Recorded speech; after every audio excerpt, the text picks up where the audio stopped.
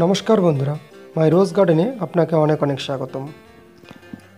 আপনারা দেখতে পাচ্ছেন, বেশ কিছু নতুন গোলাপের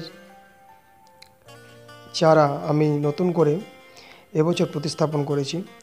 অবশ্যই আমি যেটা আপনাদেরকে দেখাচ্ছি, যেগুলো আমি আজকেই গাছগুলোকে প্রতিস্থাপন করেছি, সেই গাছগুলো আপনারা দেখতে পাচ্ছেন। অবশ্যই গাছগুলোকে কীভাবে প্রতিস্থাপন করা হলো, গাছগুলোকে কীভাবে পরবর্তী সময় যত্ন করা হচ্ছে এবং কীভাবে গাছগুলো বড় হবে, সমস্ত কিছুই আপনাদেরকে অবশ্যই পৃথক পৃথক ভিডিওর মাধ্যমে তুলে ধরব। অবশ্যই যে বিষয়টি আপনাদের বলে রাখি, এই সমস্ত গোলাপ গাছগুলো সবই এসেছে খড়গপুর পুষ্পাঞ্জলি নার্সারি থেকে। যদি আপনারা ভালো মানের যদি গোলাপ গাছ পেতে চান, তাহলে অবশ্যই যোগাযোগ করতে পারেন। যদি আপনাদের কারও প্রয়োজন হয়, তাহলে পুষ্পাঞ্জলি নার্সারির যে মোবাইল নাম্বার, সেটা আমি অবশ্যই আপনাদেরকে দিয়ে দেব। আসলে এই জায়গাতে আপনারা দু হাজারের বেশি গোলাপের ভ্যারাইটি পেয়ে যাবেন এবং সুন্দর সুন্দর সমস্ত রকম ভ্যারাইটি আপনারা এখান থেকে অতি সহজে পেতে পারেন।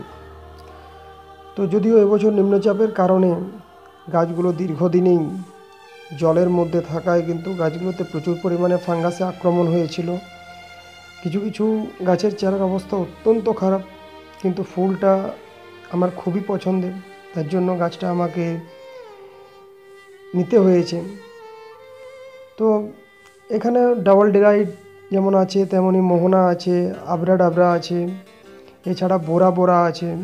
মুনস্টোন আছে। অর্থাৎ খুব ভালো ভালো রকমের যেগুলো গোলাপের ভ্যারাইটি সেই সমস্ত গোলাপের ভ্যারাইটিগুলো মোটামুটি আমি কালেকশন করেছি। অবশ্যই এই সমস্ত গাছগুলো কীভাবে আমি পরবর্তী সময়ে এই গাছগুলোতে আমি নতুন করে আবার প্রচুর পরিমাণে ডালপালা আনব এবং নতুন করে আবার গাছগুলো তৈরি হবে, সেটা অবশ্যই আপনাদেরকে ভিডিও করে দেখাবো।